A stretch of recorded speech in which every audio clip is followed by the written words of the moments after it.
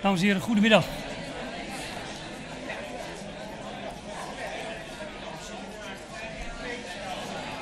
Goedemiddag, welkom. Jode ervaren als platformlid en als leraar? Um, nou, sowieso was heel erg gaaf. Het was heel erg leuk om hiervoor gevraagd te worden. Het is een hele eer en echt een hele mooie kans.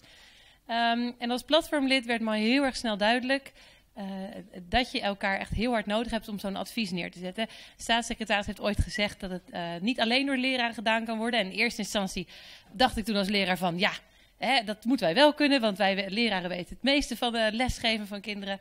Maar gaandeweg het proces werd me heel erg duidelijk dat je inderdaad iedereen nodig hebt. De wetenschapper, de cultuursector, de economische sector. En dat was echt een, uh, een hele mooie ervaring. En als leraar was het ook heel erg leuk, omdat je je eigen praktijk weer wat aan kan scherpen met alle ideeën die je hoort, alle voorbeelden die je hoort.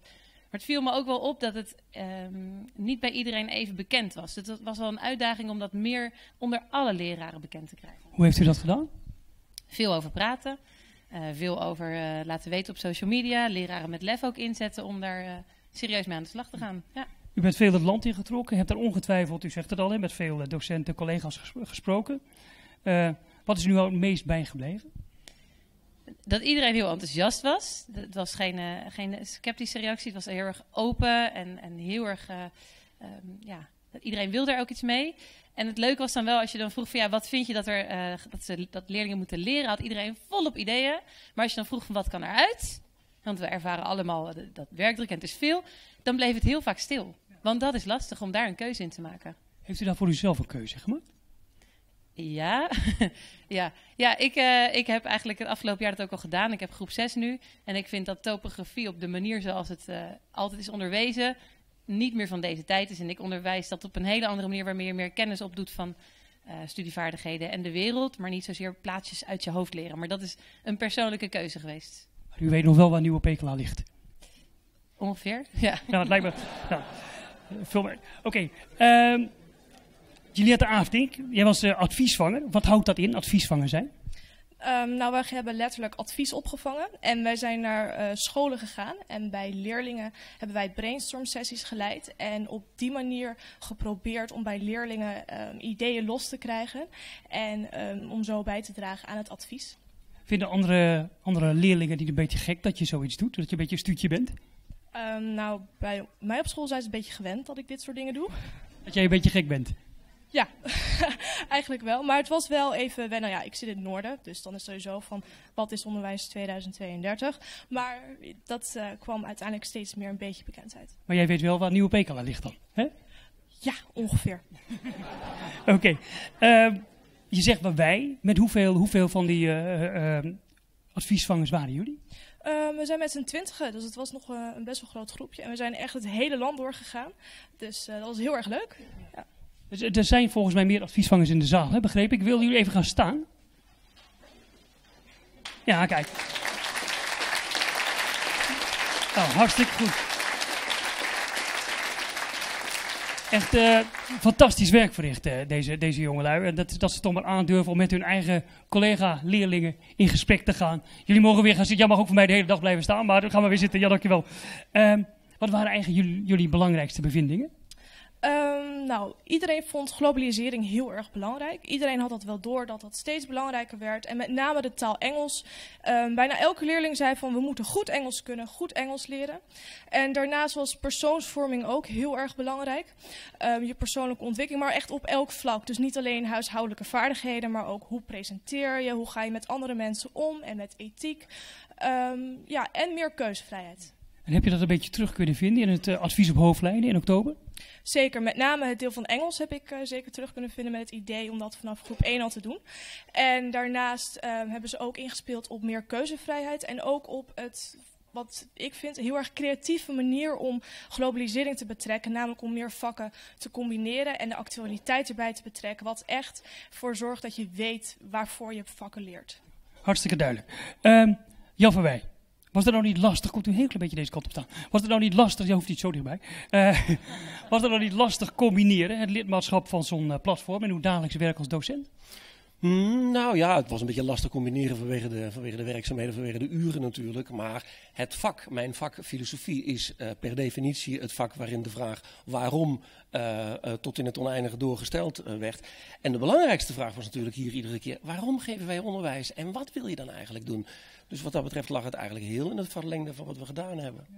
Um, u lijkt mij een man met een visie. U heeft een eigen website, heb ik ook gezien. Heeft u tijdens uw rondgang door het land nou iets gehoord waarvan u dacht, daar heb ik zelf iets aan? Daar kan ik iets mee in mijn lessen? Ja, ja oeh, potverdorie. verschillende dingen. Um, als je het zo net over die adviesvangers hebt, uh, twee daarvan die zijn bij mij in de, in de les geweest. En dat vond ik fantastisch. In vier VWO zijn ze geweest. En die kinderen sorry, de leerlingen bij mij, die, uh, die zaten in eerste instantie zo van, ja, dan moeten we hier nou zo zitten, weet je wel, met de handen over elkaar. En uiteindelijk wisten die zoveel los te krijgen van die leerlingen. Vind ik overigens ook wel een beetje het hele, hele, de hele evolutie, zou je kunnen zeggen, in uh, ons onderwijs 32. Want ik herinner me nog de allereerste keer dat ik als lid van het platform ergens was. En we wisten eigenlijk net zelf niet meer waar, waar het was, maar het was in, bij Piketty in de klas, geloof ik. Hè? dat ik zei wie ik was en dat ik lid was van Platform. En dat mensen zeiden, ah, dus jij bent de mol. En dat vond ik wel heel erg tekenend eigenlijk, dat je in eerste instantie gezien werd als degene die uh, nou weer zo'n nieuw plan top-down eventjes op een school kwam presenteren. En zo langzamerhand is dat ik ben op heel veel scholen geweest, bijna wekelijks, nou meer dan wekelijks zelfs eigenlijk dat dat geëvolueerd is en dat men ziet dat het helemaal geen, geen revolutie is, maar een evolutie is. En dat we goed geluisterd hebben, niet alleen naar leerlingen, maar ook naar leraren, maar ook naar ouders, maar ook naar nou, dat we heel veel mensen erbij betrokken hebben. Dat vond ik wel een heel erge omwenteling in, in het denken. Maar een plezierige omwenteling dus. Heel erg. Ik, ik, ja, nou ga ik iets zeggen waarvan het wel logisch is natuurlijk. Maar ik ben ook heel erg blij met het advies. En ik geloof ook dat het door heel veel mensen omarmd wordt. En zo het niet omarmd wordt, dan is het eigenlijk altijd nog maar... We hadden eigenlijk wel gehoopt dat het een beetje verder zou gaan. Maar niemand zit met de hakken in het zand. Dat gaan we straks nog horen van Paul Snabel, hè? of dat niet alsnog gaat uh, opleveren. Um, René van Eyck, wat is het belangrijkste dat u heeft opgedaan de afgelopen tijd? Dat u zou willen meegeven aan uh, scholen en leraren? Ik vind het heel erg belangrijk dat um, scholen goed gaan kijken hoe ze die keuzeruimte gaan invullen. Heb ik vanaf het begin af aan gezegd dat het voor mij heel belangrijk was dat er een stukje komt waarin niet iedereen alles hetzelfde hoeft te doen. Want niet elke school staat in dezelfde soort wijk, heeft met dezelfde populatie leerlingen te maken. En ik denk dat, dat scholen er echt goed over na moeten denken en die ruimte niet moeten invullen als iets wat, oh dat moet ook nog. Daar kan je je echt je sterk in maken voor de, ja, de groep mensen die je bedient op dat moment. Duidelijk. Um, Juliette welke klas zit jij? Uh, nu in 6 VWO. Dus je gaat examen doen uh, dit jaar? Ja. En wat ga je studeren? Tenminste, ga je studeren? Wat ga je doen? Uh, International Studies in Den Haag. Oké, okay, nou, hartstikke leuk. Ehm, stel nou dat je ehm, dit jaar nog iets zou mogen veranderen op jouw school, op het Gomaris College in Groningen. Wat zou je dan veranderen? Um, ik denk toch iets met keuzevrijheid en ook iets met persoonlijke ontwikkeling wel. Want wat ik wel vaak merk bij ons op school is dat je uh, vakken hebt, je gaat naar de les, je zit, je krijgt uitleg. En meestal daarna denk je van ja, waar doe ik dit voor? Ik bedoel, ik ben bijna klaar, ik ga zo meteen uh, de wijde wereld in. Maar ja, waar, waar heb ik dit vak nou echt voor nodig? Waar doe ik het voor? En um, om daar een beetje les in te krijgen, dat zou ik wel echt heel vet vinden. De waarom-vraag van uh, Jan Verwij, zeg maar. tot slot, meneer Verwij. Um, u zei er net ook al iets over, hè, maar dat die toekomst van het onderwijs, is dat nou een beetje een gespreksonderwerp in, in zo'n lerarenkamer? Inmiddels wel. Inmiddels hebben volgens mij heel veel scholen toch wel in de gaten dat, er, dat, dat de vrijheid die men nu krijgt, dat dat iets anders is dan vrijblijvendheid. Het is niet zo, we hebben de kaders hebben we wat, wat, wat opgeruimd wat opgeruimd, wat, wat, wat uitgestrekt. Nee, vrijheid heeft natuurlijk ook de verplichting in zich om te kiezen. Je kan niet meer zeggen nu, uh, nou, ja, we doen het maar zo omdat het van Den Haag uh, moet eigenlijk. Uh, en, ja, en dus doe het maar zo. Hoeven we eigenlijk niet meer bij na te denken. Nee, je moet kiezen. Ga je A doen, of ga je B doen, of ga je C doen, of ga je een variatie daarvan doen. Dat is het zo. Maar de verplichting om er eens na te denken, godzijdank, over wat is goed onderwijs. Eigenlijk dus het eigenaarschap teruggeven. En daar ging het eigenlijk om. Volgens mij, uh, er is een mooie poster van, uh, van Loesje, van gelukkige leraren leer je het meest. En dan word je gelukkig als leraar door het eigenaarschap weer bij je te houden. Nou, dat krijg je nou. Dat is niet echt een antwoord op je vraag. Maar het leeft wel heel erg nu in school. dat denk ik ook. Mag ik u heel hartelijk danken. Dank u wel. Gaat u daar langs.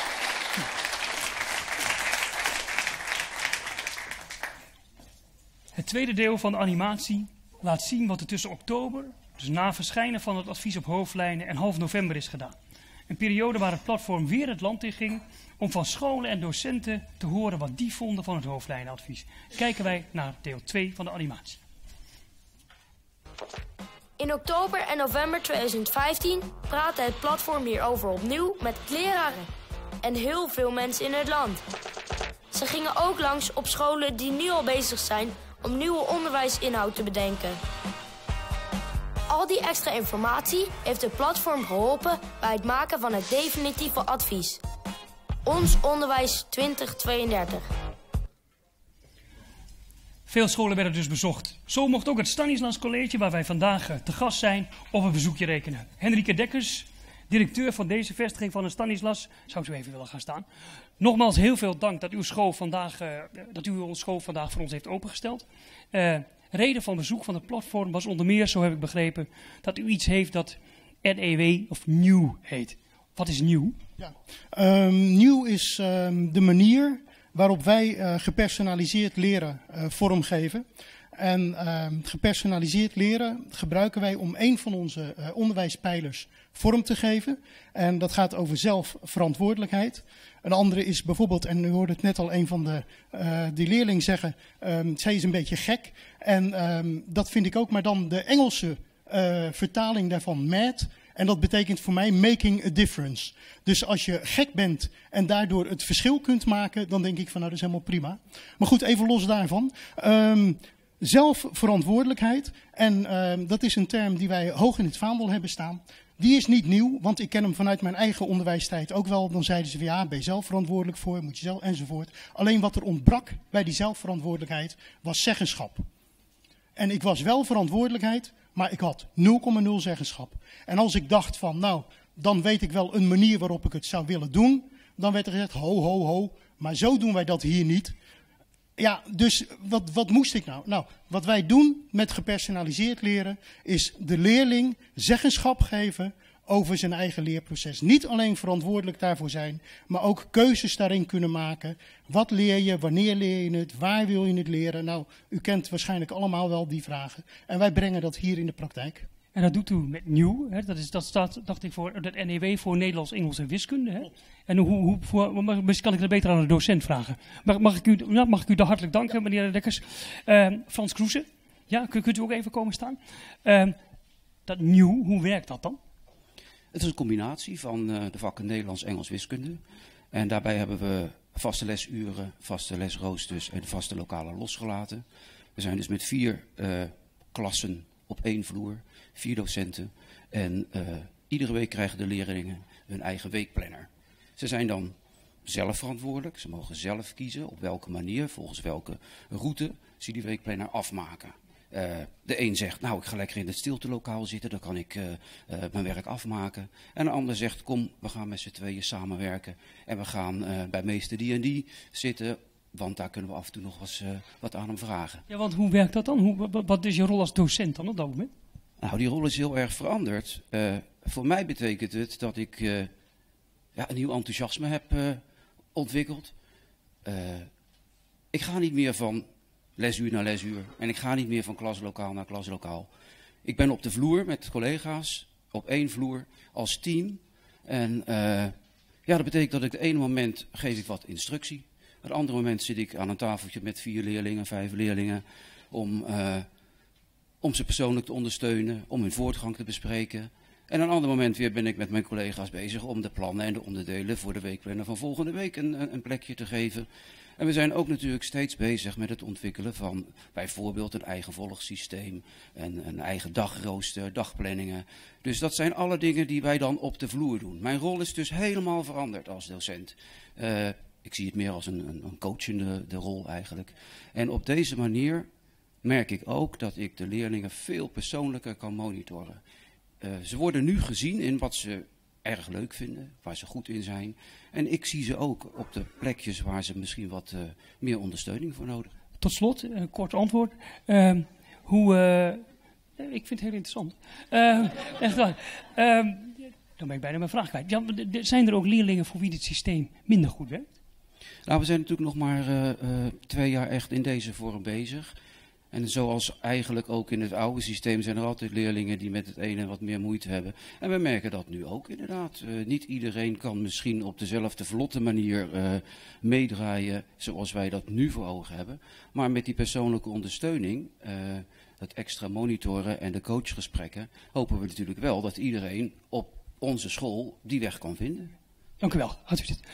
De Bras, ja, dat lijkt mij een applausje waard. Blijf u nog even zitten. Ja, u bent, ik ben er helemaal klaar voor. Dat is goed. De Bras is een basisschool in Den Haag. Over de Bras is een kort filmpje gemaakt door de 20, de 2032 Vlogboys. Daar kijken we eens. Hoi, wij zijn David en Julien, de Vlogboys van Onderwijs 2032. En vandaag zijn we op basisschool De Bras in Den Haag. Welkom op De Bras! De Bras is een unieke school waar kinderen hun eigen dagindeling kunnen kiezen.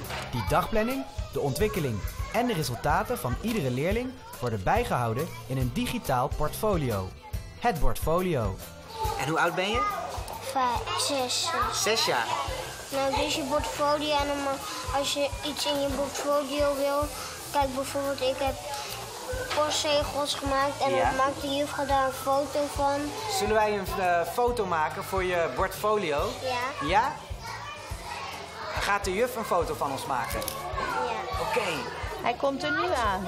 Ja. Hé, hey, kijk, dat zijn wij. En wat is jouw lievelingsvak? buitenspelen. Op de Bras is buitenspelen een vak. Op de Bras zijn er geen vaste klassen. De klassen variëren per ruimte. In die ruimtes zitten kinderen van alle leeftijden. Hier zijn we bij Mens en Expeditie. Hoe oud ben jij, Leonie? Zeven. Zeven. En Nienke, hoe oud ben jij? Twaalf. Twaalf. Wat, wat heb jij van Nienke geleerd?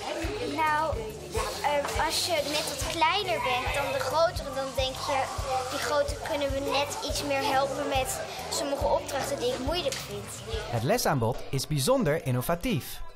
Hier leren kinderen op jonge leeftijd al hoe ze moeten programmeren. Ja, de bedoeling is dat je het zo doet. Die ziet er heel ingewikkeld uit. Maar je hebt ook loops, dus dan kan je klikken. is een Loops? herhalend patroon. Level voltooid. En dan krijgen we een nieuw sterretje erbij. Ja, dan vraag je een nieuw level. De pauzes op de bras zijn ook heel leuk. Kijk maar.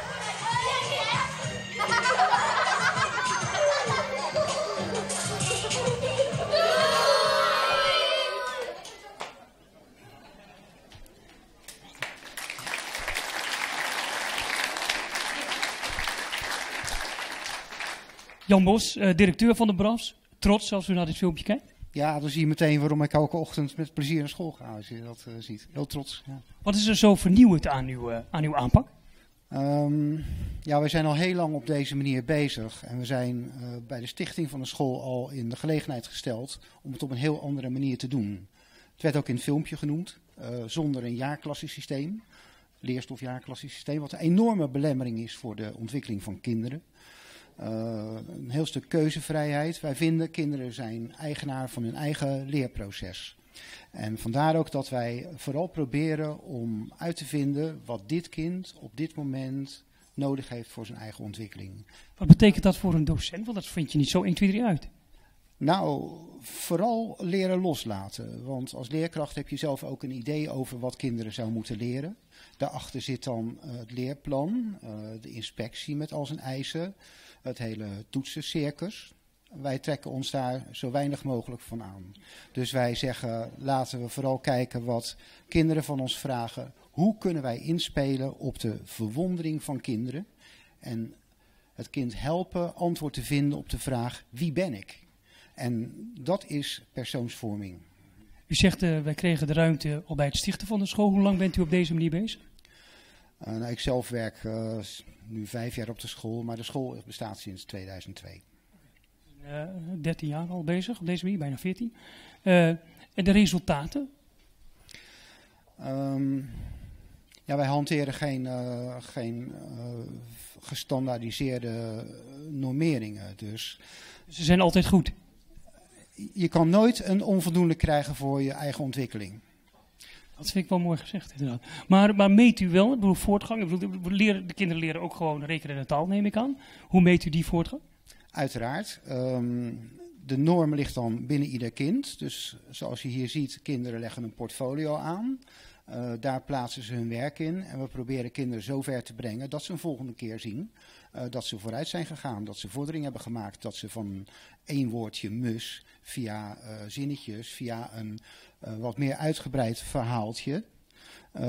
tot een onderbouwd verhaal over de mus in een stedelijke omgeving kunnen komen. En als je dat achter elkaar ziet, inhoudelijk verhaal, spelling, grammatica, zo laten wij zien wat kinderen leren. Hebben we geen toetsen voor nodig, geen gestandaardiseerde toetsen, geen CITO. Doen allemaal zonder. Mag ik u heel hartelijk danken?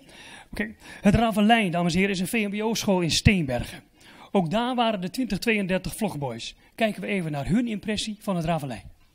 We zijn vandaag in Steenbergen bij het Ravelijn voor VMBO en TechMavo.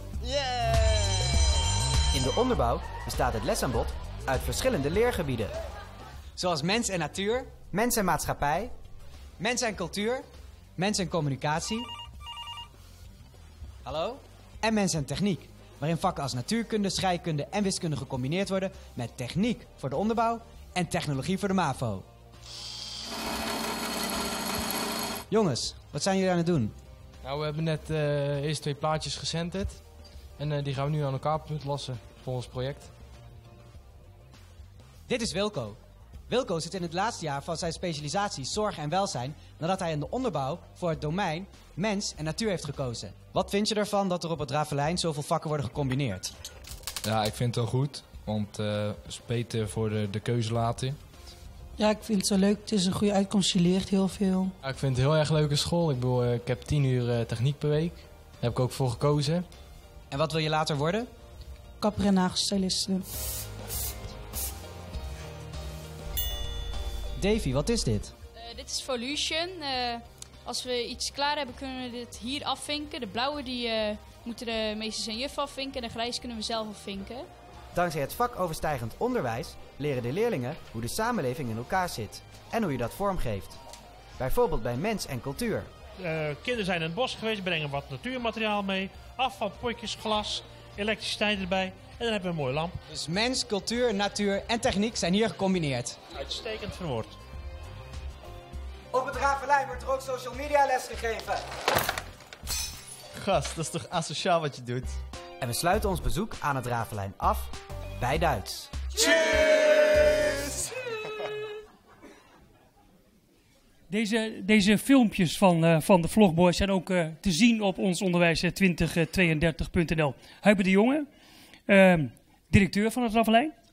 Op uw school, we hebben het net gezien, wordt het uh, vakoverschrijdend uh, denken, leren en werken geleerd en gestimuleerd. We hebben er iets van gezien, maar wat houdt het wat u betreft in? Het houdt in ieder geval in dat uh, je in samenhang leert. Dat betekent dat niets losstaat, maar alles in samenhang. Leerlingen moeten keuzes maken. Leerlingen moeten verantwoorde keuzes maken. De kennis komt via, in ons geval, digitale platform binnen. En daar moeten keuzes in gemaakt worden. Men moet weten waar het over gaat. Bijvoorbeeld in mensen en uh, uh, maatschappij. Niet meer los aardeskunde geschiedenis, oude, nieuwe PKLA en dergelijke. Dat is wel belangrijk om te weten in verband met uh, gas en dergelijke. Maar je moet in ieder geval weten waarom bepaalde zaken zijn. En dat is voor ons belangrijk. De waarom-vraag. Ga ik, u hebt een docent meegenomen, hè? mag ik u hartelijk danken. Arthur van Zoutenbier. docent voor de clusters mensencommunicatie en mensencultuur. Wat betekent deze manier van werken voor u als docent? Uh, heel creatief zijn. In, in alles. En dat is het leuke eraan, want dan, ben je, dan heb je plezier in je werk. Dan heb ik zomaar de indruk, maar dat weet ik niet zeker, dat u al wat langer in het onderwijs uh, werkzaam bent. Um, is dat het geval of niet? Ik werk inmiddels 36 jaar in het onderwijs, ja. Hoe lang werkt u al volgens deze methode? Vier jaar, want ik werk nu vier jaar op deze school. En was dat voor u een grote, grote omslag? Nee, eigenlijk niet, want ik kom uit het basisonderwijs. En ik heb daar heel veel met ogenonderwijs, ontwikkelingsgericht onderwijs gewerkt. Daar werkten we al heel erg in projecten. En ik wilde nog één keer een stap maken. En die vond ik op het Ravelijn. Waar ook in die projectvorm gewerkt werd. En ja, dat bevalt me uitstekend. U maakt een heel gelukkige indruk. Dank u wel. Dank u wel. Um, ja, dat mag volgens het applausje. Gaan wij uh, tenslotte naar Amersfoort, naar het Vathorst. Een school voor VMBO, T, HAVO en VWO. En daar is uh, Jasmijn Kester, Eh, ja, gaat u er ook maar even bij staan, alstublieft. Jasmijn Kerst, eh, rector van het Vathorst. Wat maakt uw school zo bijzonder? Ja, waar zal ik beginnen? Um, ik denk de positiviteit. Er hangt een ongelooflijke positieve sfeer in onze school, omdat we uitgaan van wat een kind, een leerling, een jongvolwassene wel kan. Um, en daar spelen we op in. Dus die positieve feedback is voor ons ongelooflijk belangrijk. Daarbij hebben de kunst- en cultuurvakken een belangrijke rol. Die spelen ook een belangrijke rol in de persoonsvorming. Van wie ben ik, wat wil ik. En ook het kritisch bevragen wat ze krijgen aangeboden um, in de lessen. En daarbij uh, het ervaren in de leerhuizen bij ons is ongelooflijk belangrijk. Dus zelfverantwoordelijk leren. Een collega van mij vertelde het net al, is bij ons uh, ook een grote onderwijspijler. Wij richten het voor de leerlingen in en zij krijgen de ruimte en de verantwoordelijkheid om hun eigen leerproces vorm te geven. Heel duidelijk, dank u wel. Wouter Meijer, u bent docent aan het Vathorst. Uh, wat geeft u? Ik geef geschiedenis. geschiedenis. En wat, waarom vindt u het belangrijk dat onderwijs aandacht heeft voor die persoonsvorming? Nou, in de eerste plaats omdat je als docent uh, met leerlingen werkt. Uh, en het is ook wel fijn om die dan als mensen te zien en daar contact mee te hebben. En uh, dat, dat gaat het best als je ook heel goed kijkt naar wie zijn eigenlijk die leerlingen. En dat je daar ook ruimte voor maakt in je onderwijs. Dus niet alleen datgene wat, je, wat in de boeken staat of wat je voorgeschreven krijgt, dat je dat deelt met ze. Maar dat je ook onderzoekt wat het met hun doet en hoe, ja, waar de raakvlakken zitten met hun belevingswereld. Um, hoe, hoe, combineert u dat? Waar geeft u geschiedenis een plek in, in zo'n aanpak? Nou ja, geschiedenis is uh, onder andere onderdeel in de onderbouw van het thematisch leren. We hebben een aantal thema's waarin een geschiedenisonderwerp uh, als uitgangspunt geldt. En we hebben ook een aantal thema's waar juist andere onderwerpen als uitgangspunt gelden en waar wij proberen aan te haken. Um, en verder probeer ik uh, in mijn eigen vak in de bovenbouw, waar we minder thematisch werken, uh, heel veel ruimte te geven voor eigen inbreng van leerlingen. Van wat, wat hun eigen uh, interesse is bijvoorbeeld. Maar dan mogen ze zelf het onderwerp kiezen waar ze zich mee bezighouden? Ik heb in uh, 4 VWO inderdaad een periode waarin ik heel bewust de ruimte geef om helemaal een eigen onderwerp te kiezen. Ik heb dan maar een klein stukje stof dat ik verplicht behandel. En de leerlingen die er goed voor staan, die mogen daar sowieso voor kiezen om, om een eigen invulling te geven. Maar ik geef eigenlijk aan iedereen die, die ruimte. En ze mogen dan uh, helemaal een eigen onderwerp kiezen als het maar ergens een raakvlak met geschiedenis heeft. En de enige vraag die ik ze stel, of twee vragen eigenlijk, waarom dit onderwerp en wat heb je ervan geleerd? En dat presenteren ze dan aan het einde aan hun klasgenoten. Met als gevolg bijvoorbeeld een jongen die uh, zo gefascineerd was door de Republiek, dat hij in het jaar voordat we de nieuwe historische context gingen behandelen, eigenlijk in een kwartier het hele examenonderwerp er doorheen jaagde. Uh, en die had het leukste deel gehad toen eigenlijk, hè? Misschien wel, ja.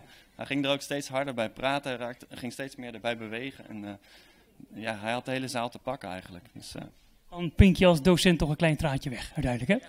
Dat gebeurt zeker, ja. ja en dat is ook wat, wat, mij, uh, wat, wat voor mij het vak zo mooi maakt.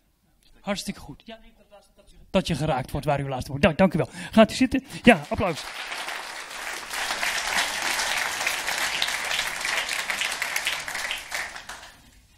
Dan is nu het moment uh, daar. De presentatie van het eindadvies van het platform Onderwijs 2032. Ik geef graag het woord aan de voorzitter van het platform, Paul Snaap.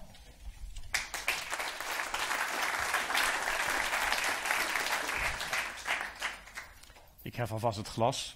Het is nog water hoor, maar het zal straks in wijn veranderen.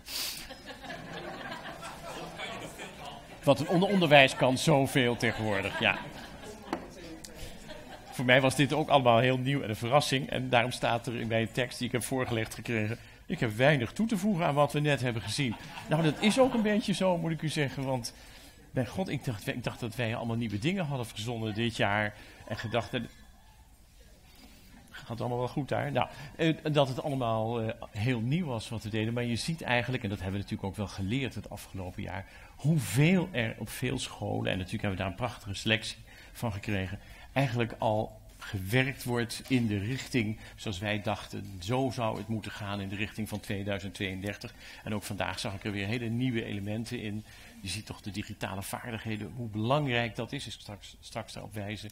Je ziet toch ook de zelfstandigheid ook van kinderen om zich te uiten. Om ook goed hun verhaal te doen. Ook heel erg belangrijk. Als ik dat vergelijk met hoe dat in mijn schooltijd was, dan denk ik, nou, dat is toch allemaal wel een enorm verschil. En wat een ontzettend plezier en ook wat fantastisch om dat zo van de docenten en de directeuren te horen. Van met hoeveel plezier en enthousiasme ze daar ook aan werken. Ik moet u eerlijk zeggen dat onze commissie bestaat voor de helft uit mensen die echt direct in het onderwijs actief zijn.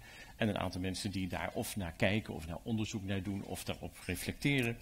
Ehm, je ziet eigenlijk als je zo het jaar doorbrengt bij, het- bij die scholen, bij veel scholen op bezoek gaat, met veel mensen praat, toch wat, ondanks wat er vaak over geschreven wordt, wat een enthousiasme er toch op eh, is. En wat ook heel vaak liefde, zeker in het, priva, in het primair onderwijs vind ik dat vaak zo opvallend, een enorme liefde voor die kinderen en om die kinderen te helpen inderdaad te worden wie ze eigenlijk zouden kunnen zijn. He, ze te helpen om het beste uit zichzelf te halen en zich te ontwikkelen tot, wat ik dan altijd maar noem, een aardige persoon waar anderen ook graag mee zouden willen verkeren.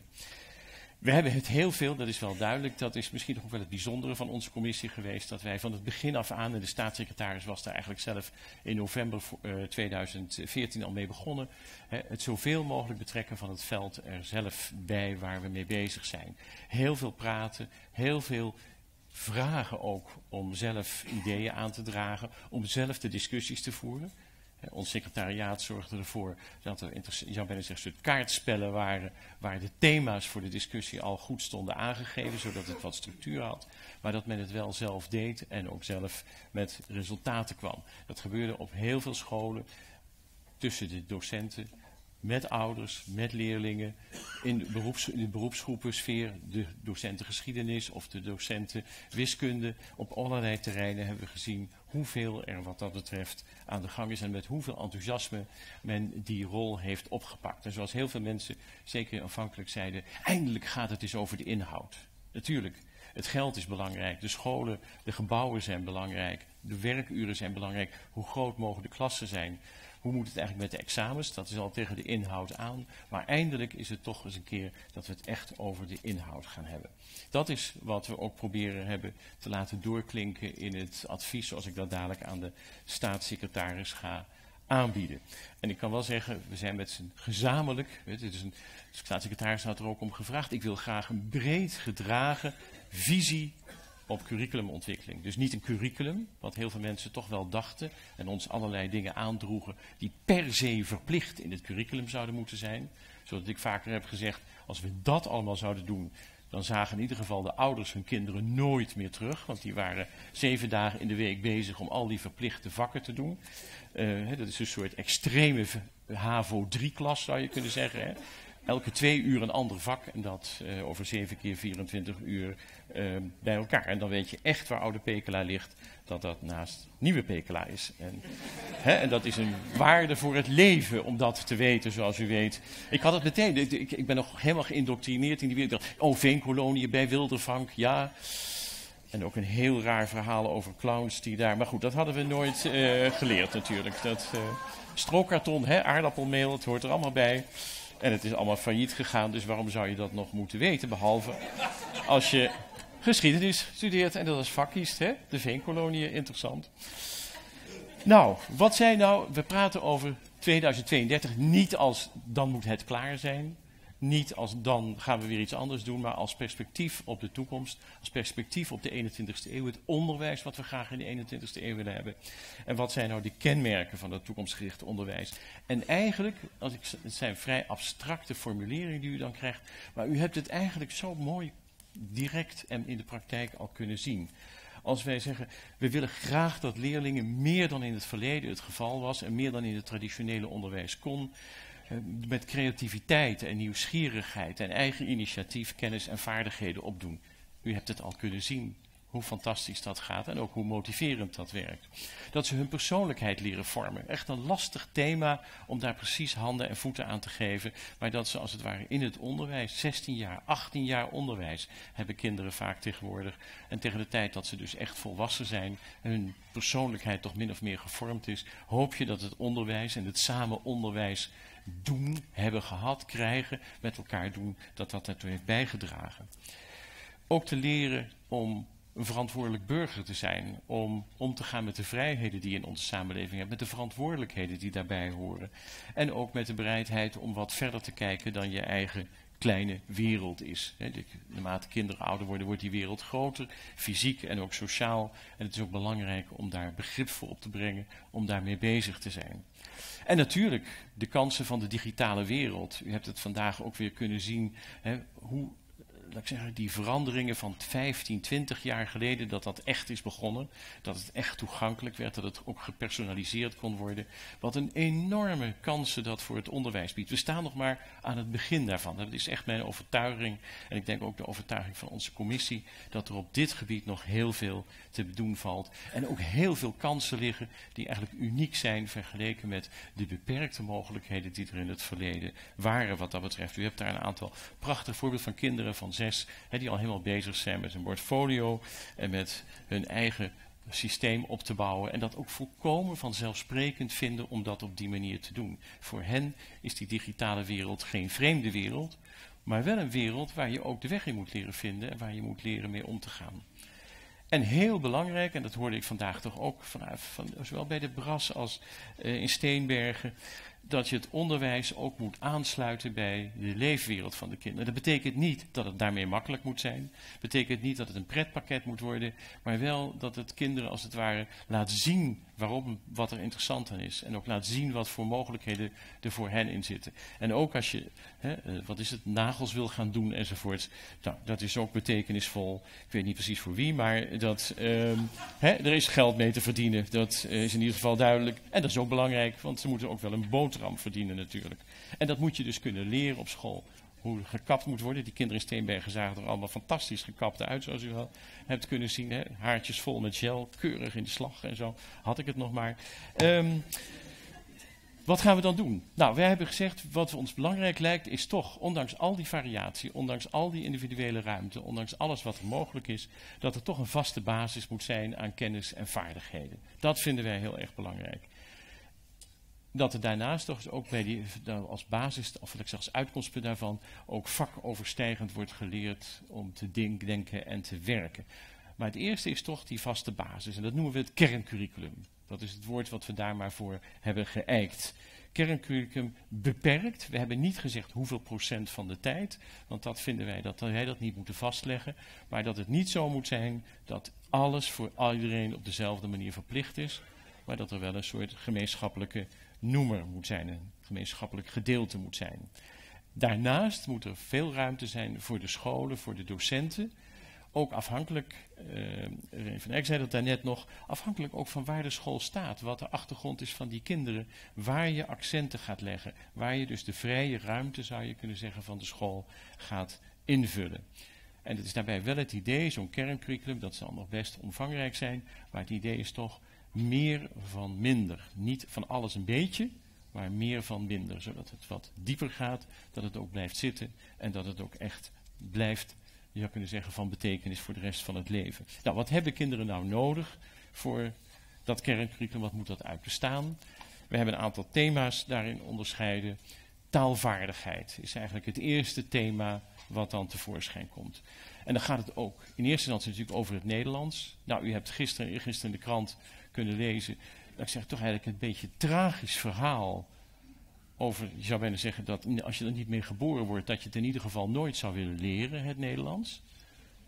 Dat is toch een beetje een triest verhaal dat de docenten Nederlands zelf moeten constateren dat het vak in de ogen, in de oren van de kinderen behoorlijk doof lijkt te zijn en dood lijkt te zijn. Dat is toch een ernstige constatering. Dat moet veranderen. Nederlands blijft natuurlijk ongelooflijk belangrijk hè, voor, om je te kunnen uitdrukken, om te kunnen formuleren, om met elkaar contact te kunnen hebben, hè, om de winding in de samenleving tot stand te kunnen brengen. Maar ook om deel te kunnen nemen aan het debat, om teksten te kunnen begrijpen, om deel te kunnen nemen aan een moderne samenleving die toch heel erg textueel is, ondanks het feit dat het beeld zo prominent aanwezig is. En ik denk dat de stap die de leraren Nederlands nu alweer zelf hebben gezet, dat dat ook precies is in de lijn van onze commissie. Naast het Nederlands taalvaardigheid in het Engels. Dat is duidelijk een thema wat al veel aandacht heeft getrokken. We zeiden aanvankelijk, nou, ik moet eigenlijk vanaf groep 1 beginnen. Dat is eigenlijk niet aan ons om te beslissen. Maar zoals op dit moment dat van de 7.000, 8.000 basisscholen duizend scholen wel Engels geven, de andere niet. En die duizend dat onderling op heel verschillende manieren, op heel verschillende momenten in de jaren doen. Dat is zonde van ieders energie die daarin gestoken wordt. Want het begint dan toch in het voortgezet onderwijs weer helemaal opnieuw. En wij vinden het heel belangrijk dat de continuïteit in het onderwijs sterker dan in het verleden benadrukt wordt tussen het primair en het voortgezet onderwijs. En dat het van belang is dat met juist met dat Engels, dat kun je op een hele speelse manier mee beginnen. Het gaat om spreekvaardigheid. Hè. Voor alle kinderen belangrijk is om de wereldtaal, die Engels toch is, om dat, te, om dat toch vroeg te leren. Want als kinderen iets kunnen, als kleine kinderen iets kunnen, dan is het een vreemde taal leren. Dat leren ze echt spelenderwijs. Um, en dat vinden ze ook nog heel erg leuk ook. Ook wie geen talenknobbel heeft, vindt het toch vaak niet alleen leuk, maar ook noodzakelijk om het Engels te beheersen. En voor Nederland als samenleving, voor Nederland als economie, voor Nederland als wetenschapsland is het Engels absoluut heel erg belangrijk. Vlak voordat ik hier naartoe ging, ik geloof dat het in de NRC was, stond dan weer een, dat iemand toch vroeg, ja, zou in 2032 dat Engels nog belangrijk zijn? denk, nou, waar zou die naar school geweest zijn? En zou die wel eens echt een goede krant lezen? Zou die nou echt wel eens waarnemen wat er in de wereld gebeurt? Want ook in China leren ze Engels. En in Rusland willen ze niets liever dan Engels leren. En zelfs in Frankrijk leren de jonge mensen Engels. Ik durf mijn hand voor Italië niet in het vuur te steken, maar voor Frankrijk inmiddels al wel. Heel erg belangrijk, denken wij. Tweede element, taalvaardigheid, rekenvaardigheid. Kunnen rekenen. En dat is iets anders dan wiskunde. Maar rekenen is voor iedereen belangrijk. En in een aantal gevallen is het ook heel belangrijk om natuurlijk heel goed in wiskunde thuis te zijn. Maar rekenen, het, dat ik zeg, ook al kun je dat allemaal natuurlijk op je computertje doen enzovoorts, blijft toch heel erg belangrijk om een goed zicht te hebben op wat er gebeurt in de wereld. Om gewoon heel snel zelf een berekening te kunnen maken. Of te kunnen zien of een berekening überhaupt klopt. Het is echt een basisvaardigheid. En die is echt heel erg belangrijk. Kan wel zeggen dat uh, in de bij de vele mensen die wij hebben gesproken, hè, was ook de, de, de koningin. Uh, mensen zeiden tegen mij, oh ga je bij de koningin uit, uitleggen wat er in het onderwijs gaat veranderen? Toen ik terugkwam zei ik, nou ik geloof dat je niet helemaal begreep hoe dat daar zit, want de kerndoelen vlogen me om de oren, alle 58. En en de rekenen kunnen rekenen, beheersen van wiskunde, rekenvaardigheid, financiële vaardigheid, weten hoe je met geld moet omgaan. Dat was duidelijk een van de thema's waar de koningin heel erg op uh, nadruk op legde. Ook vanuit haar activiteiten bij uh, de, de, Verenigde Naties, de aandacht voor micro-economie en dat soort zaken. Heel belangrijk dat kinderen daar goed in thuis zijn.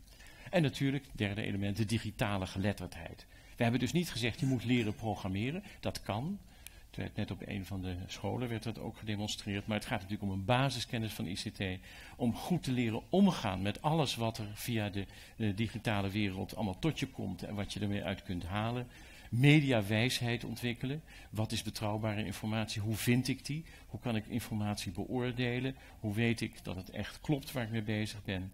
En ook de essentie van wat een computer is, hoe dat werkt, hoe die informatiestromen tot stand komen. computational thinking, zoals het dan in goed uh, taalvaardig Engels vandaag de dag klinkt, dat is ook heel erg belangrijk. Voor alle vakken speelt dat eigenlijk een hele grote rol. Dus wij denken dat dat zonder dat dat allemaal betekent dat dat alles is, maar dat je absoluut niet zonder kunt. Ik moet altijd weer even terugdenken aan een prachtige Fokken en Sukken cartoon. Toen Prins van Oostrom zijn kanon maakte, daar stond een prachtige cartoon van Fokken en Sukken in, waar verkleed als middeleeuwse monniken aan schrijftafels. En die toen zeiden van, die boekdrukkunst, dat was ook geen blijvertje hoor. Nou, de mensen die dus echt denken dat de digitalisering geen blijvertje is, dat zijn een beetje die schrijfmonniken uit de middeleeuwen. Dat kan dus echt niet meer. Vierde thema, burgerschap. Dat is ook een van de dingen die de staatssecretaris heeft gevraagd. Kennis en vaardigheden, persoonsvorming en je kunt zeggen maatschappelijke vorming, burgerschap. Deel uitmaken van een rechtsstaat. Weten hoe de democratie werkt en hoe die in elkaar zit. Niet alleen maar cognitief, maar ook weten hoe je dat dan doet. Wat democratie is, wat een debat is, hoe je een gesprek voert, hoe je naar elkaar luistert en elkaar vragen stelt wat mensenrechten zijn, dat kinderrechten zijn, eventueel ook dierenrechten zijn, hoe het samenleven in elkaar zit. En ook leren hè, sociale vaardigheden en omgangsvormen. Leren ook maatschappelijke verantwoordelijkheid op te pakken. Leren te zien dat je een grotere verantwoordelijkheid hebt voor de samenleving. Althans voor een samenleving die met recht een samenleving van burgers is. Waar die burgers verder kijken dan simpelweg, om het zo te zeggen, kleine eigen wereld van het eigen huis en de eigen familie. Maar zich ook verantwoordelijk voelen voor de grotere gemeenschap. Heel erg belangrijk naar ons idee.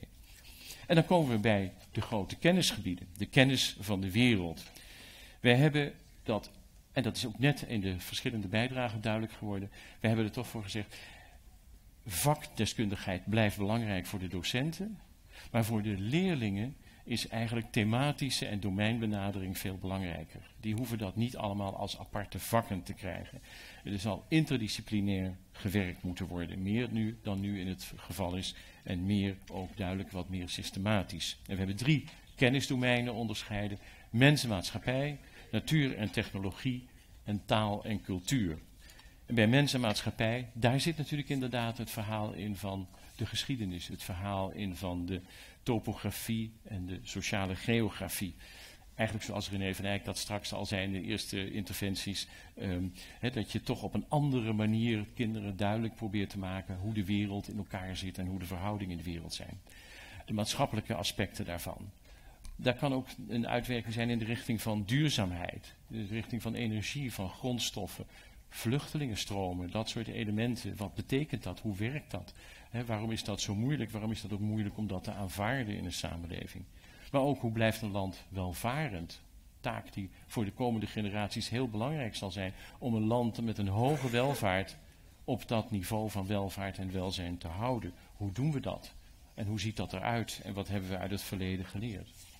Bij natuur en technologie hebben we eigenlijk een tweeslag gemaakt aan de ene kant natuurlijk de echte technologiekant, tot en met de nanotechnologie toe. Hè, de betekenis van alles wat georganiseerd is voor ons in de manier dat het in machines is opgebouwd, dat het in machines is, heeft plaatsgevonden, zonder dat wij zelf nog weten hoe het werkt, maar dat we in ieder geval iets van de essenties daarvan besnappen en het gebruik wat je ervan kunt maken. Maar ook, en dat heeft natuurlijk te maken weer met die natuurkant, onze fysieke gezondheid, onze psychische gezondheid, onze voeding, de wereld waarin we leven, het lichaam dat we zijn. Uh, al dat soort zaken, de hersens die we in min of meerdere mate bezitten en wat we daarmee kunnen doen, aangepast aan het niveau van die hersens uiteraard. En als derde kennisdomein taal en cultuur. Dan gaat het over de vraag hoe geeft de mens zin aan zijn bestaan? Wat is cultuur eigenlijk? Hoe werkt dat eigenlijk? Daar kunnen ook talen weer een plaats in vinden. Daar kan ook de belangstelling voor kunst en voor muziek en de expressie uh, van vakken kan daar een plek in hebben. Ik kan het niet helemaal uitwerken. Dat gaat allemaal gebeuren in de komende tijd, hopen we. Zodat het wat duidelijker wordt hoe je die domeinen vorm zou kunnen geven. Vanuit disciplines, maar in aanbod interdisciplinair. We kijken daarnaar in de sfeer dat het dat ook moet leiden tot het ontstaan en de ontwikkeling van vakoverstijgende vaardigheden. Dat hoort toch ook wel, vinden wij, iets wat het onderwijs moet bereiken. Het leren leren. Het weten wat je moet doen als je even niet weet wat je moet doen. Dat je als het ware bewerktuigd bent om moeilijke nieuwe problemen aan te pakken en daar systematiek uh, voor te ontwikkelen. Kritisch leren denken. Maar ook denken in oplossingen. Van als we een probleem hebben, hoe pakken we dat dan aan? Hoe kunnen we kijken of daar een oplossing voor is en hoe zou die eruit kunnen zien? En heel belangrijk, en gelukkig wordt daar ook steeds meer aandacht aan besteed, dat leerlingen dingen samen moeten doen. Dat ze samen moeten werken, leren werken om tot een resultaat te komen. Dat is in het bedrijfsleven, in de organisaties, in de politiek, overal zijn deze thema's steeds belangrijker aan het worden. En dat mensen goed kunnen samenwerken, dat ze nieuwe problemen kunnen oplossen en dat ze daar als het ware vrij in zijn om dat creatief te doen. En we hopen dat het onderwijs sterker dan in het verleden in staat zal zijn om daar bijdrage aan te leveren en te helpen de leerlingen om dat te doen. Nou, ik heb al gezegd, dit is het kerncurriculum. Dat proberen we zoveel mogelijk te omschrijven. Dat staat ook al voor een deel omschreven in het advies. En daar zal ook in de komende tijd veel aan gewerkt moeten worden. Daarnaast dus die vrijheid van scholen, van docenten, van leerlingen, ook om zelf keuzes te maken. Keuzes in de breedte, keuzes in de diepte. En dat kan heel verschillend zijn per leerling. En dat kan ook verschillend zijn per onderwijstype en per school. We denken dat, dat, een, hè, dat die ruimte meer dan in het verleden gepakt zou moeten worden. We hebben heel vaak gemerkt in de discussies in het, in het land dat mensen dan naar ons toe kwamen en zeiden van ja, maar wat vindt Den Haag daar nou van? En mijn antwoord was dan altijd, staatssecretaris gaat nu even zoomen. Daar moet je je gewoon niks van aantrekken. Vertel dan maar aan Den Haag wat jij ervan vindt. En wat jullie wenselijk vinden. Laat je het onderwijs niet afpakken. La, zorg dat die vrijheid van onderwijs, die vrijheid om het onderwijs in te richten, die vrijheid om daar keuzes in te maken, dat je daar zelf die vrijheid gebruikt en dat niet laten invullen door de overheid of door de uitgevers of door andere partijen die uiteindelijk niet in de klas staan. Dat vinden we heel belangrijk. En als dat allemaal lukt, dan komt ook die persoonsvorming. In dat samenhangende aanbod, in de manier waarop er gewerkt wordt, komt ook die persoonsvorming wel tot stand. We hopen dat de leerlingen in het idee wat we hebben uiteindelijk uitgroeien tot vaardige mensen die iets kunnen, mensen die iets weten, mensen die, om het zo te zeggen, voor, eh, zelfstandig zijn in de samenleving, vaardige, waardige, mensen die echte burgers zijn in de positieve zin van het woord. En aardige mensen, dat is ook niet onbelangrijk vandaag de dag en aan alle tijden eigenlijk. Dat het ook mensen zijn waar andere mensen het leuk vinden om mee om te gaan. Toch altijd nog een heel belangrijk criterium. Vaardig, waardig, aardig. Dat dat het doel is van waar al die opleiding voor dient. Waar al die 16 tot 18 tot 20 jaar scholing voor is. We hopen dat dat gaat lukken. Dat betekent heel veel werk. Dat betekent heel veel werk om de kerndoelen te, vormen, te herformuleren, te kijken naar de kerndoelen en de eindtermen. Betekent opnieuw kijken naar toetsing en examinering. Wat moet centraal, wat moet misschien helemaal niet geëxamineerd worden in de zin van meetbaar gemaakt worden, maar kan merkbaar gemaakt worden. Het oordeel van de docent, het oordeel van de andere leerlingen misschien zelfs wel, hè, dat hij op een andere manier daar ook naar kijkt. En wat kan ook lokaal op de school zelf als toetsing of als examen gelden. Betekent ook weer een nieuwe opdracht en een nieuwe vraag aan uh, toets, aan de verantwoording en het toezicht aan de inspectie. Waar men ook wel het gevoel heeft dat de lijn waarop men nu zit van steeds verder gaande toezicht, dat dat niet een goede lijn voor de toekomst is. Betekent ook heel veel voor de opleidingen van de docenten en voor de bijscholing van docenten. Voor misschien wel zo het hele gevoel van het vak, het, vak tot een echte professie maken, hè, wat nu toch eigenlijk een beetje ontbreekt. Twee weken geleden had de Vereniging van Hogescholen hield haar nieuwjaarsbijeenkomst bij het KIVI, het Koninklijk Instituut van Ingenieurs in Den Haag. Er is geen Koninklijk Instituut van Leraren. Dat is eigenlijk toch jammer. Dat er niet iets is wat anders is dan de vakbonden, wat anders is dan de disciplines, maar wat de identiteit van de professie centraal stelt. Dat zou ook nog een thema kunnen zijn wat vanuit het onderwijs zelf uh, aangezet zou kunnen worden. En een goede samenwerking tussen al die verschillende partijen die we hebben gesproken, die dat allemaal willen naar ons idee, die allemaal daar positief over zijn geweest. En die daar een bijdrage aan moeten gaan leveren, want het werk van de commissie zit erop. Wij hebben in tien jaar niet kunnen doen wat we in tien maanden wel konden doen. Tien jaar is in veel andere landen de termijn geweest die men genomen heeft om het onderwijs te herzien. Wij kregen daar tien maanden voor van de staatssecretaris. We hebben ons best gedaan en ik hoop dat het gelukt is. Ik hoop dat u daar uw voordeel mee doet en dat u daar verder uitwerking aan wilt geven in het belang van onze samenleving, in het belang van onze kinderen en in het belang van uzelf als onderwijsveld. Dat zou fantastisch zijn.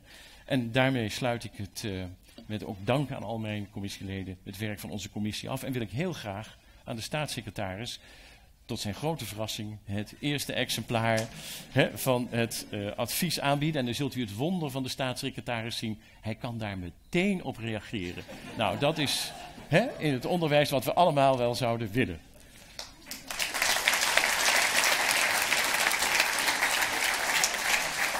Het rapport. En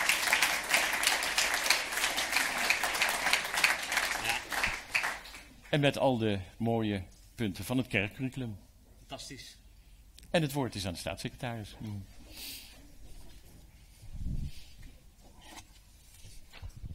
Dankjewel. Ik leg me hier even neer. Dames en heren, Paul, dankjewel. Wat fantastisch mooi en wat fantastisch om te zien dat we hier vandaag in de volle aula zitten. Op toch voor velen van jullie een vrije zaterdagmiddag. Laat maar weer zien hoezeer het onderwijs en hoezeer ook het thema onderwijs 2032 leeft. We zagen net in de animatie ehm, hoe het het afgelopen jaar steeds is gegaan en hoe we met z'n allen een blik hebben geworpen in de toekomst. Maar misschien is het ook goed om eens even terug te blikken. Want kijken in de toekomst is toch een beetje ingewikkeld. We hebben geen glazen bol met z'n allen.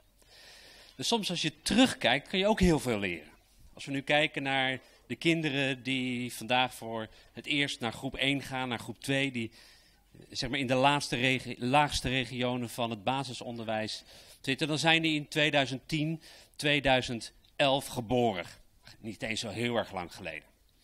2010 was het jaar dat ik aan mijn tweede periode als wethouder in Den Haag begon. En volgens mij, Rinda den Beste begon haar, haar tweede periode als wethouder in Utrecht. Het was ook het jaar dat Nokia nog de marktleider was in de verkoop van mobiele telefoons. Dat 10 miljoen Nederlanders een profiel hadden op Hives. Het was vijf jaar geleden dat nog niemand had gehoord van Uber. En het was niet alleen het geboortejaar van heel veel kinderen die nu uh, in de groep 1 en 2 van het basisonderwijs zitten. Maar het was ook het jaar dat de iPad het licht zag. We zijn nu vijf jaar, zes jaar verder. En wat is er dan ongelooflijk veel veranderd? Die iPads, die tablets, die zijn niet meer weg te denken. Hives en Nokia bestaan niet meer. En er zijn in een heel snel tempo allerlei nieuwe bedrijven en initiatieven opgekomen. Het laat maar weer eens zien hoe snel de wereld verandert. En misschien kunnen we niet in de toekomst kijken en voorspellen hoe het, de wereld er in 2020 of 2025 of 2032 eruit ziet.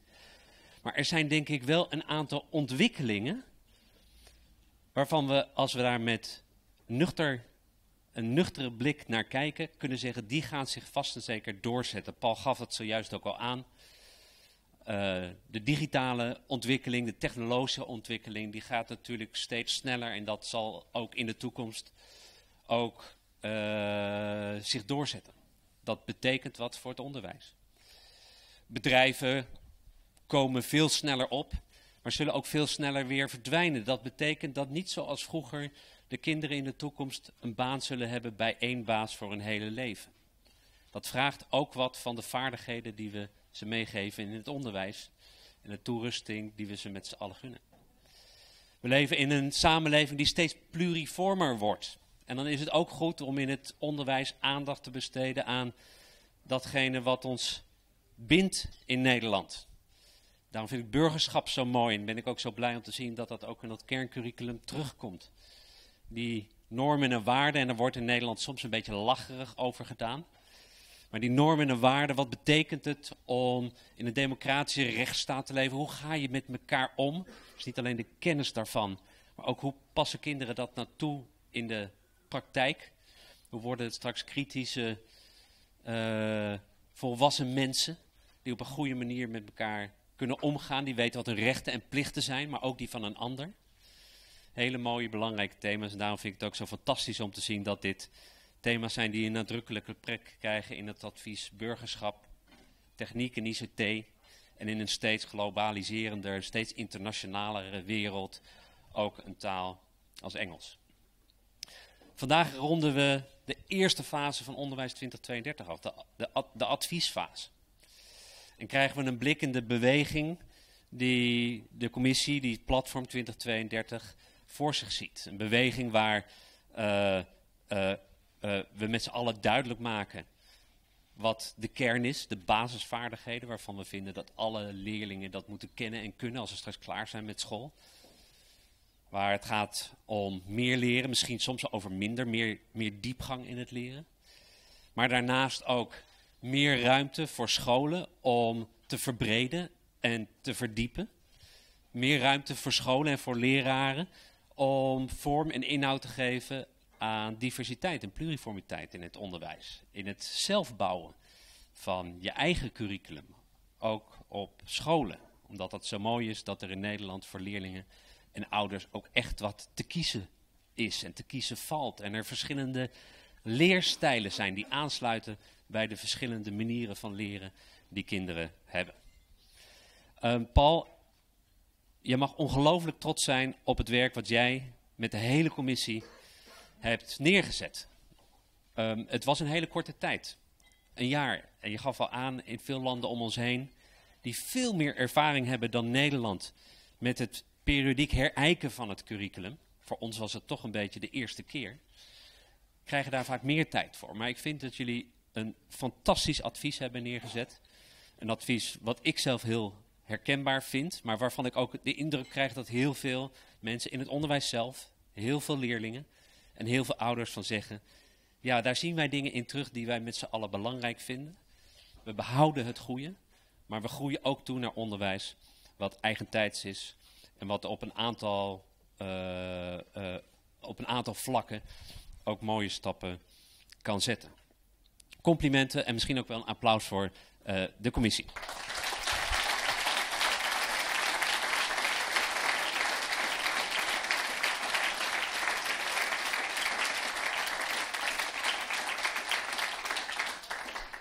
En ik vind dat applaus het niet alleen maar dik verdient omdat de inhoud van dat advies zo vreselijk goed is. Wat ik ongelooflijk heb bewonderd is de manier waarop jullie als commissie erin zijn geslaagd om dit een heel breed gedragen advies te laten zijn. Dit was geen tekentafel-exercitie. Tien maanden met z'n allen in vergaderzaaltjes schaven aan teksten. Maar jullie zijn naar buiten gegaan. De tienduizenden reacties via social media, brieven, tweets van leerlingen, van ouders, van ondernemers, van maatschappelijke organisaties, van leraren, van schoolleiders. Ongelooflijk. De honderden bijeenkomsten in het land. Het liet het afgelopen jaar zien hoeveel belangstelling er is voor eigentijds en toekomstgericht onderwijs. Hoe belangrijk heel veel mensen dat vinden. Maar ook hoe waardevol de input was die jullie daar hebben opgehaald. We zagen net de adviesvangers, ze zitten daar achter in de zaal. Wat geweldig om ook uh, een bijdrage te hebben van de leerlingen zelf. Hè, wat vinden jullie belangrijk op school? Wat mis je? En hoe kunnen we het onderwijs nog aantrekkelijker en nog uitdagender maken? En wat gaaf om te zien hoeveel invloed jullie dan hebben. Want jullie zullen dingen herkennen die jullie hebben opgehaald op heel veel van die scholen. Die jullie nu ook weer terugzien in de presentatie van Paul Snabel en in het eindrapport. En ook in de volgende fase hoop ik dat de architecten van ons onderwijs, de leraren, samen met curriculumbouwers en samen met wetenschappers weer heel erg betrokken zouden willen zijn bij een volgende stap. Want met het rapport ligt er niet onmiddellijk een nieuw curriculum. Dat vraagt echt nog wel wat doordenken, het ontwerpen en in een latere fase ook het bouwen van het curriculum. En daar hebben we scholen en leraren ongelooflijk hard bij nodig. Dus ik zou graag willen afsluiten met een uitnodiging aan alle leraren en schoolleiders hier in de zaal. En ook de leraren die via uh, het internet via de streaming meekijken naar deze presentatie. En wij zullen dat ook in de komende weken blijven doen als we steeds naar buiten gaan. Meld je aan via onderwijs2032.nl om ook mee te denken met het ontwerpteam wat straks aan de slag gaat. En met de leerlabs, waar uh, op scholen zelf al gewerkt wordt op heel veel van deze vlakken. Het mooie is aan de volgende fase dat we ook nu niet uh, ons gaan terugtrekken of, of aan, een, aan een groep leraren vragen om nu iets op te tekenen, maar dat we dat interactief doen. Dat we in die zin kunnen leren van de ervaringen van scholen die er al mee bezig zijn. Die al kunnen vertellen wat werkt en wat misschien niet. Zodat we een hele mooie nieuwe fase ingaan om uh, te gaan ontwerpen en te bouwen aan onderwijs voor de toekomst, voor de leerlingen van nu, voor de wereld van morgen, de wereld van 2032. Dankjewel.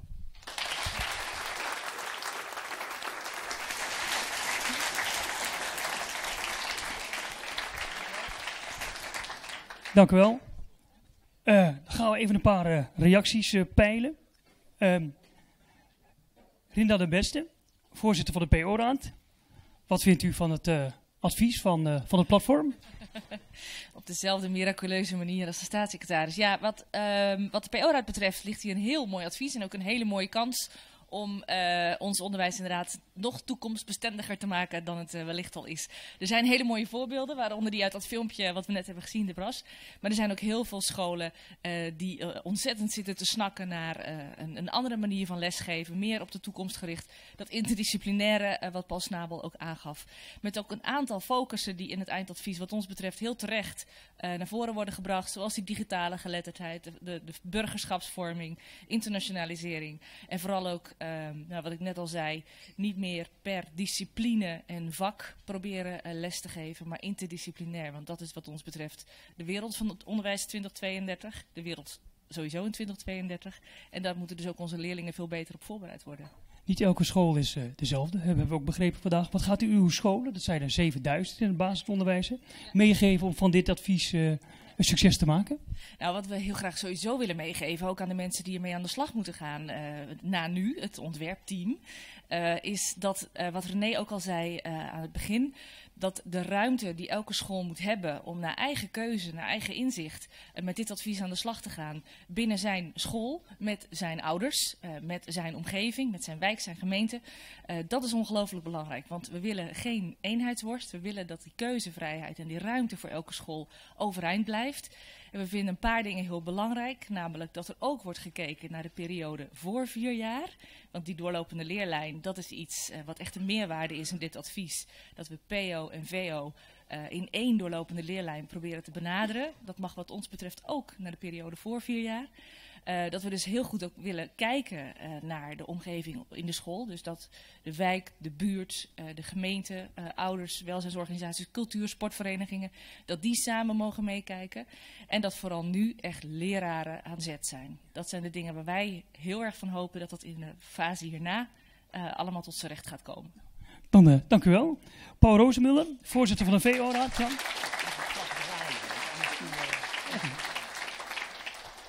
Oké. Okay. Uh, Paul Roosmil, uw eerste reactie op het eindadvies? Nou, ik vind het wel een goed advies eigenlijk. Ja. Dat is zo mooi. Zijn we daarmee klaar of nee? Uh, u bent als uh, VO-raad ook steeds nauw betrokken geweest bij het platform. Uh, wat, zijn de, wat zijn de hoogtepunten uit het advies voor u? De hoogtepunten uit het advies um, zijn, denk ik, misschien wel in eerste instantie de vorm die gekozen is om dit breed gedragen advies te presenteren binnen uh, iets meer dan een jaar. Uh, dat maakt namelijk dat de kans van slagen dat dit ook leidt tot een eigentijds curriculum enorm groot is als we die bottom-up benadering die de commissie gekozen heeft, als we die weten door te zetten, dan heb je kans, want het is allemaal nog geen vanzelfsprekendheid, dat dit leidt tot een uh, nieuw uh, curriculum. Want dat is uiteindelijk het doel.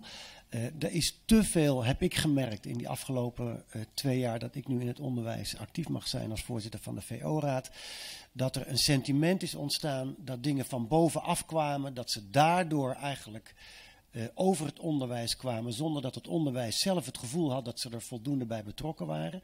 En dus die methodiek is eigenlijk misschien nog wel net zo belangrijk als de samenhangende aanpak van datgene wat nu um, door, het, uh, door, de, door het platform is uh, gepresenteerd. Want dat is misschien niet zo um, uh, enorm vernieuwend. En daar, daar gaat misschien de moeilijkste fase nog komen. In een ontwerpfase, op weg naar dat nieuwe curriculum. Dan zal nog heel veel gekozen moeten worden. Maar de inhoud in combinatie met die methode vind ik echt verrassend, kansrijk en een enorm compliment voor de mensen die dat werk gedaan hebben. Heel mooi, dank u wel. Dank u wel. Joost Kenson, voorzitter van het college van bestuur van de Meerwegen Scholengroep en voorzitter van de onderwijscoöperatie. Hoe kijkt u aan tegen het eindadvies van het platform? Ik vind het een, uh, vind het een heel mooi stuk. Wat mij betreft ook een compliment inderdaad voor de termijn waarop het is, uh, is geschreven. Waar ik heel positief over ben is in ieder geval uh, de, de achterliggende agenda en ook de agenda die hieruit voortkomt. Namelijk dat we met elkaar praten over het onderwijs als zijnde een hele belangrijke sector dat er in die sector een aantal dingen gelden. Eén, dat de stem van de leerling daarin heel goed doorklinkt. En twee, en dat is denk ik heel belangrijk, en ook wel in een aantal bijna abstracties in de commentaren van vandaag ook al voorbij gekomen, dat onderwijs echt mensenwerk is. We hebben het over scholen en we hebben het over het onderwijs in het algemeen, maar dat gaat natuurlijk wel uiteindelijk om het functioneren van mensen en in het bijzonder in het functioneren van leraren. Ja, want wat betekent dat advies voor de leraren? Ik denk heel veel. Waar ik, uh, waar ik blij mee ben, is dat er heel veel ruimte wordt gelaten aan de invulling. Met andere woorden, dat de angst die je her en der wel hebt uh, gevoeld in de afgelopen periode van het zal toch niet weer iets van bovenaf uh, worden wat dichtgeregeld wordt. Dat er een enorme kans ligt voor het onderwijs zelf. En dat zijn dus met name ook die leraren, die professionals, om daar invulling aan te geven. Waar ik voor daarnaast ook wel blij mee ben, is de ruimte die scholen gaan krijgen. Ehm, want in die schoolruimte vindt wat mij betreft een tweede slag plaats. Je hebt de leraar als onderdeel van de beroepsgroep. Je hebt de leraar ook als een belangrijke schakel op scholen. Om op scholen ook in het kader van wat we met een mooi woord professionele ruimte noemen. Om daar de juiste keuzes in te maken en de juiste keuzes ook op de juiste plekken te laten plaatsvinden. Dat vind ik heel belangrijk. Oké, en wat gaat u als onderwijscoöperatie nu doen? Nou, wij faciliteren de beroepsgroep. Ik hoorde net uh, het Koninklijk Instituut voor Leraren uh, genoemd. Wij zijn nog niet koninklijk, maar willen dat best wel worden. Um, de onderwijscoöperatie uh, is de beroepsgroep in wording. Wat wij vooral gaan doen, is dat twee dingen. Wij gaan het gesprek faciliteren. En wij gaan nog meer dan we al doen, uh, aandacht vragen voor professionaliseren. In het kader ook van het lerarenregister. Ik had net uh, over de ontwikkeling van bijvoorbeeld de keuzes die gemaakt worden op schoolniveau. Ik uh, stel me daar zo uh, bij voor dat ook leraren op groeps- en op schoolniveau daar uitgebreide discussies over gaan voeren. Wat ons betreft ook een heel mooi voorbeeld van informeel leren. Dus ik denk dat de invulling van onderwijs 2032 straks en de vertaling op schoolniveau ook voor de professionalisering een enorme, enorme slag kan betekenen. Een mooi, mooie stap voorwaarts. Heel goed, dank u wel. Dank u wel.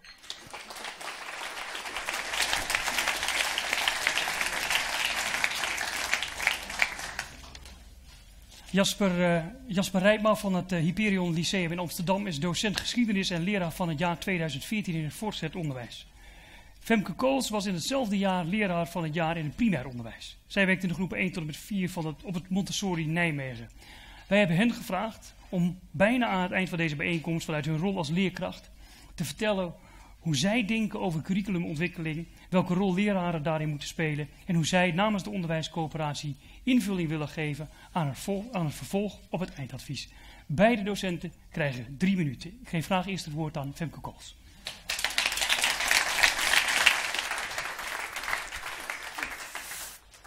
Dank jullie wel. Ja, mijn uh, interesse voor curriculumontwikkeling uh, komt uh, voort uit mijn eigen groei en ontwikkeling als leraar. Want toen ik van de Pabo afkwam, had ik een rugzak vol idealen over hoe het allemaal beter moest als het ging om keuzevrijheid voor leerlingen en keuzeruimte voor leraren.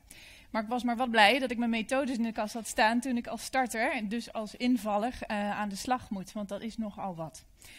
Toch begon het bij mij binnen een jaar al te wringen. Ik had niet het gevoel dat ik mijn leerlingen werkelijk bereikte en mijn werkplezier nam al af. Um, dus ik begon al vrij snel met het experimenteren en het loslaten van, uh, van vakgebieden waar ik de meeste expertise over, of, van had. En passie voor voelde, zoals Engels en taal, kunst en geschiedenis. En met dat doen vergrootte mijn werkplezier meteen. Nou, het is ook heel fijn voor mij geweest dat ik direct aan de slag kon in het Montessori-onderwijs. Want daar is men al meer gewend om onderwijs zelf te ontwerpen en aan te sluiten bij de individuele leerbehoeften van kinderen. Um, het is niet makkelijk. Zo wilde ik werken, maar je hebt heel veel kennis nodig. En je moet continu blijven nadenken over dat wat jij elke dag doet met de kinderen, of dat nog goed is. gelukkig vind ik dat heel erg leuk, dat nadenken. En met mij een hoop andere leraren in Nederland. Zo heb ik bijvoorbeeld met een, een paar leraren een nieuwe taallijn, taal doen, uh, ontworpen voor Montessori-scholen, omdat wij echt niet tevreden waren over het aanbod dat er nu lag. Nou, ik denk als het gaat om curriculumontwikkeling, dat uh, heel veel leraren heel goed zicht hebben op dat wat nodig is voor actuele onderwijsinhoud en betekenisvol leren voor kinderen. zoals gezegd heb je veel kennis nodig moet je jezelf blijven ontwikkelen. Um, om ook wel recht te houden op daar iets van vinden. In dat licht ben ik ook heel erg blij met het lerarenregister, met beroepsstandaard, want daarmee laat de beroepsgroep wel zien dat ze er klaar voor is en dat we professionalisering hoog in het vaandel hebben staan. Wij zijn er klaar voor, leraren kunnen nu aan zet, we krijgen de ruimte, we hebben ook wel heel veel tijd nodig. Want als wij geen tijd krijgen, dan kunnen wij nog zoveel passie voelen en nog zoveel sterke ideeën hebben, maar dan gaat het niet werken. Um, ik ben heel erg blij dat ik met een aantal andere leraren nu via de onderwijscorporatie in staat gesteld word om uh, het voortouw te gaan nemen. En daarbij gaan PO en SO en VO en het MBO samen optrekken voor een doorgaande lijn.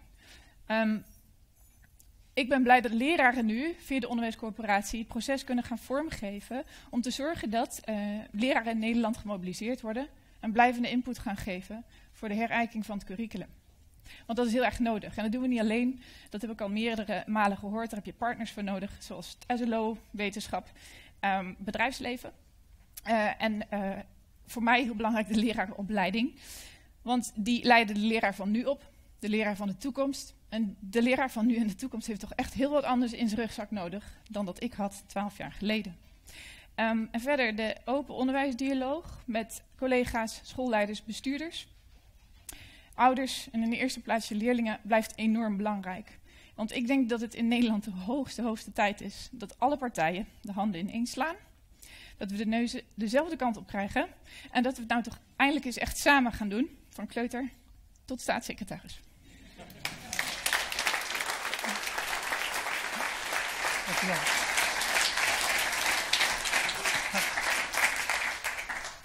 Aan mij uh, de eer om uh, af te sluiten. Uh, mijn interesse, mijn affiniteit met dit onderwerp, met curriculumontwikkeling, heb ik ook opgedaan op mijn huidige school, het Hyperion Lyceum in, Amsterdam. Het is een nieuwe school, we zijn 4,5 jaar geleden begonnen. Ook ooit met zo'n richtinggevend adviesdocument. inmiddels lopen er 500 leerlingen rond. Nou, het hele proces van het oprichten van een school, dat heeft ja, ikzelf en mijn collega's eigenlijk in staat gesteld om ja, nieuwe antwoorden te formuleren op een aantal ja, de meest basale vragen, uh, zou je kunnen zeggen, die de grondslag liggen van uh, ons onderwijs.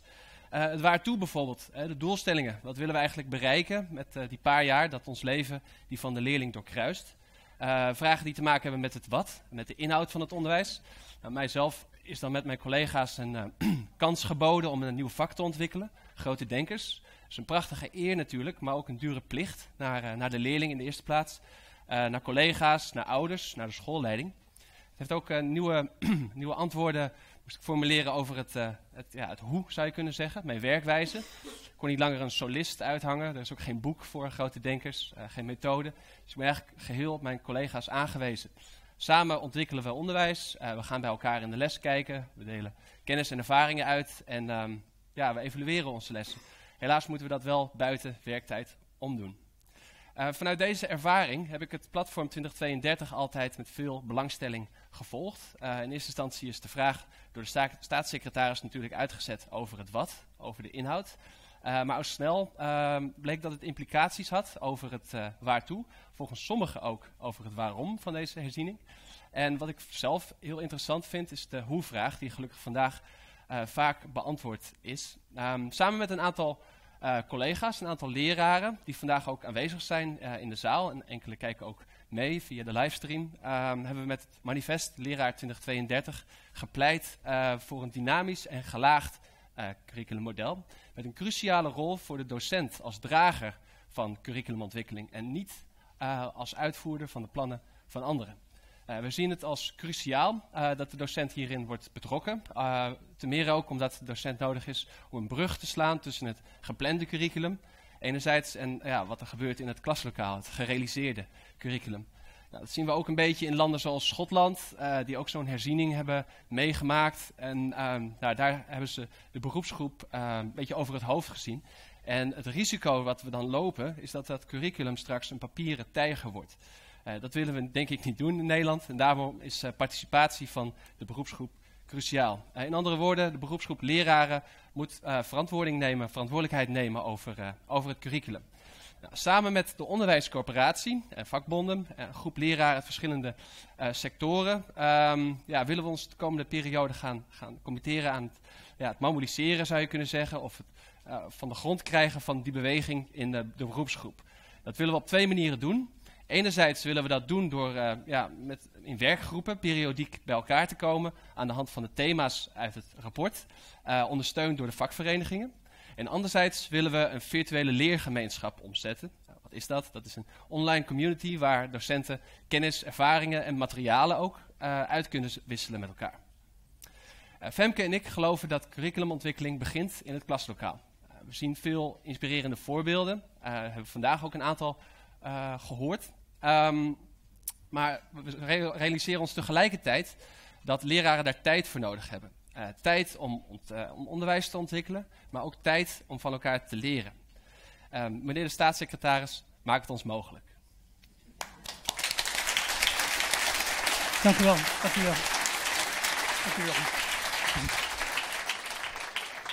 Meneer, meneer de staatssecretaris, maak het ons mogelijk. Misschien moet u er nog heel even bij komen om te reageren op de woorden van, eh, van Femke Kools en, eh, en eh, Jasper Rijpma. Wat vindt u ervan? Ja, hartstikke goed. Enthousiast, zeer betrokken bij hun vak. En ik hoop dat er heel veel meer leraren zijn die ook willen meedenken op hun eigen vakgebied van hoe kunnen we dat curriculum straks gaan opbouwen, wat hoort erbij, hoe kunnen we van elkaar leren en hoe kan je dat vervolgens op je eigen manier ook weer in je klas laten terugkomen. Ik denk dat de factor tijd daar heel belangrijk eh, bij is. Ik ga graag ook om de tafel zitten met eh, de onderwijscorporatie. Omdat daar ook ideeën bestaan over hoe je professionele ontwikkeling, waar natuurlijk de afgelopen tijd ook wat meer tijd voor is gekomen, heel goed kan combineren met zoiets als curriculumontwikkeling. Want het is een, denk ik, ja, het is wat anders dan bij wijze van spreken op een cursus gaan, maar je leert er misschien wel tien keer veel meer van door met vakgenoten te praten over wat er belangrijk is in je vak. En door zo slim dingen samen te brengen, moeten we erin slagen om ook die ruimte met z'n allen en die tijd met z'n allen te vinden. Ehm, ik ga de ambitie graag aan en ik hoop dat er heel veel leraren meekijken die zich na vandaag gaan aanmelden om mee te doen. Dank u wel.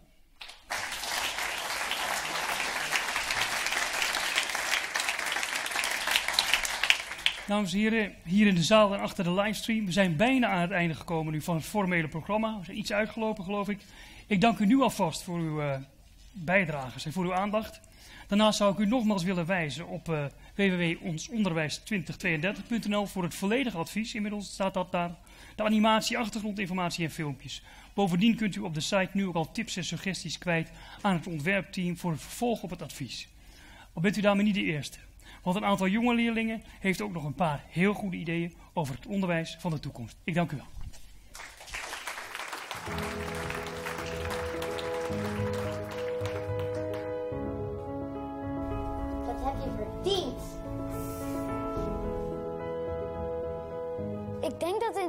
2032 de scholen veel meer bezig zijn met, eh, met ruimtevaart.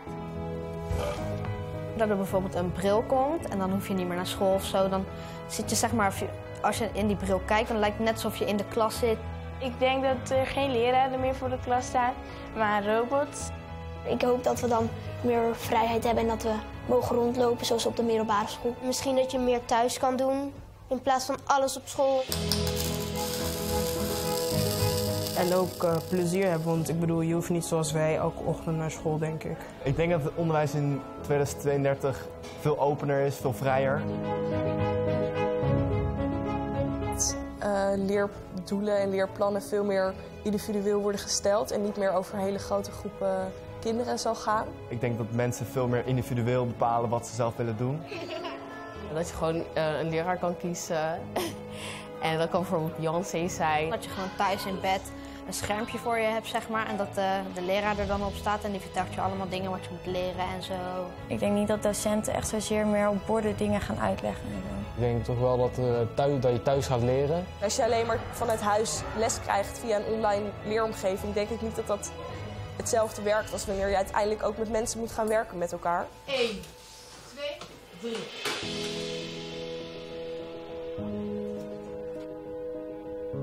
Dat je meer leert omgaan met elkaar.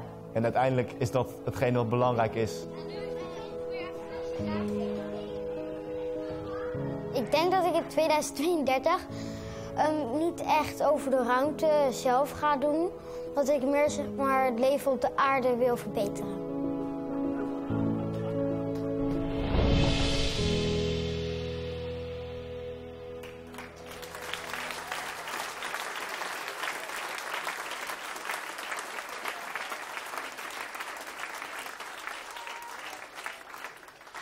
De bar is geopend.